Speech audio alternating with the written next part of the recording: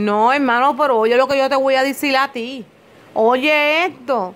Es que la gente se mueren y ¡pum! Ellos caen rápido en el espíritu. Y después ya el espíritu está corrupted. Está copre... Viste que el enemigo no le gusta que yo diga nada. Ya el espíritu está dañado. Entonces tú, esos espíritus van a sufrir. Cuando una persona muere rapidito, viene un espiritista, un santero, una bruja, viene una persona llorando o una persona en el hospital gritando y, se levanta el espíritu del muerto, el espíritu de la persona, se levanta y ya tú lo ves que está en el espíritu. Entonces lo cogen para ser brujo, lo cogen para hacer maldades. ¿Entiendes? Porque sin culpa lo levantaron. Y ellos están, los santeros lo ven y dicen, yo lo quiero coger. Vente conmigo. Mira, una señora me vio a mí hoy y me dijo, vente conmigo, para cogerlo para ser brujo. Yo te voy a decir una cosa a ti, óyeme muy bien. Uno se muere y ¡pum! Ya cayeron en el espíritu. Están en el espíritu. No llega a llegar ni al funerario ni a entejarlo. Porque ya cayeron uno, dos y tres, empiezan a gritar y ahora y ya se levantó y ¡pum! Está en el espíritu y ya tú estás en el infierno. Papá Dios no llegó, Jesús no vino a levantar los muertos. ¿ah?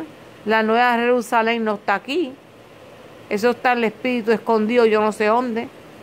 Y no, Dios está en su trono botado por allá escondido. ¿Y qué pasa? Todo el mundo en el espíritu sufriendo, pasando mal rato. ¿Ah? ¿Y qué tú haces por el espíritu? ¿Estás orando? Estás leyendo la Biblia, estás yendo a la iglesia, te está preparando que cuando tú caigas en el Espíritu, tú te preparas para el Espíritu. Tú sabes la suciedad y las poca vergüenza que hacen en el Espíritu. Cuando tú caigas en el Espíritu y tú ves todas las suciedades que hacen, eso es a puño y patá contigo, abuso, puñalada, tiro. Sabrá Dios lo que hay. ¿Ah? Ese coge, coge, brinca y brinca y volando y de cuánta cosa hay, tirándote contra el piso, abusando de ti. Ellos hasta te, hasta te violan el espíritu. ¿Qué van a hacer ustedes cuando creen en el espíritu? Van a estar en pecado. Van a estar sufriendo hasta el día que llegue Jesucristo. No vas a aprender a defenderte. Tienes que aprender a defenderte. Dios no te dijo a ti que ser un pendejo, ni una pendeja. Porque si tú lees la Biblia, Abraham no mataba a todo el mundo que venía a frente de él cuando Dios decía, vete y defiende tu gente y mata a todo el mundo. Y Abraham no iba a pelear la guerra y peleaban y guerreaban. ¿Y qué pasaba? Mataban el pueblo completo. Y después que hacía Abraham, cogía a toda su gente y se iba, se iba para otro pueblo. Y donde quiera que iba había una guerra, pues la pelea, él la peleaba y seguía para adelante para el otro pueblo. Y llegaba a otro pueblo, si había una guerra, la peleaba y se iba para otro pueblo. Si es Dios, permitió todo eso para Abraham, imagínate nosotros, en el espíritu. Porque todo es espiritual, hay que buscar del espíritu, porque tú te crees que el espíritu te va a dar chavo. El Espíritu no te da el chavo. Dios dijo, vete a trabajar.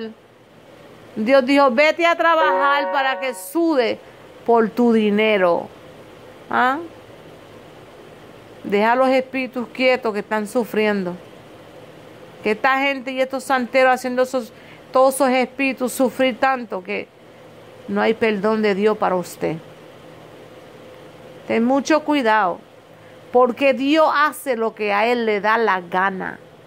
Si a Él le da la gana no llevarte para el cielo cuando Jesucristo llegue, pues no le dio la gana.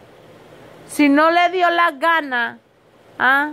de salvarte y llevarte para el trono, para la Nueva Jerusalén, pues porque no le dio la gana. Porque tu pecado ha sido tan grande que ya Él se cansó.